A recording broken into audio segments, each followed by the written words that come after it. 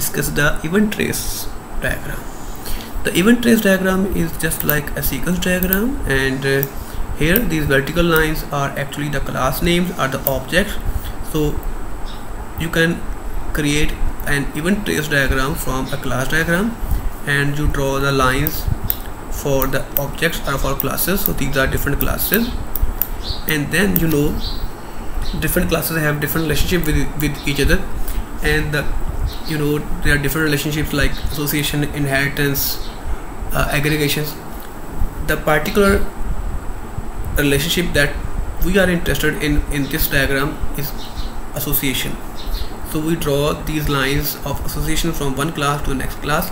Like this is an object caller this is the object of phone line and this is the object of callee. So when the caller tries to make a call the caller calls caller lifts receiver and connects interacts with the phone line.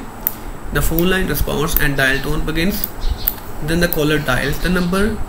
Then the dial as as soon as the caller starts dialing the dial tone ends.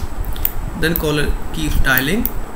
And finally then when the number is dialed the phone the phone of the callee rings and the caller listens the hears the ringing tone the callee answers the phone to the phone line and this phone line connects both callee and caller.